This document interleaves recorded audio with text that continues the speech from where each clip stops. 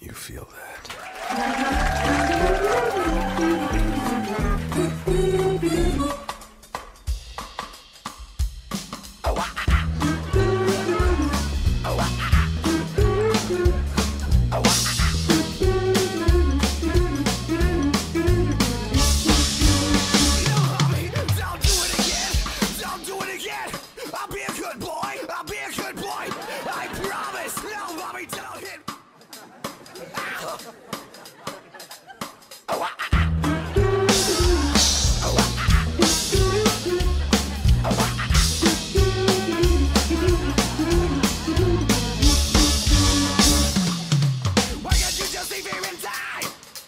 Why can't you just leave here and die? Never stick your hand in my face again.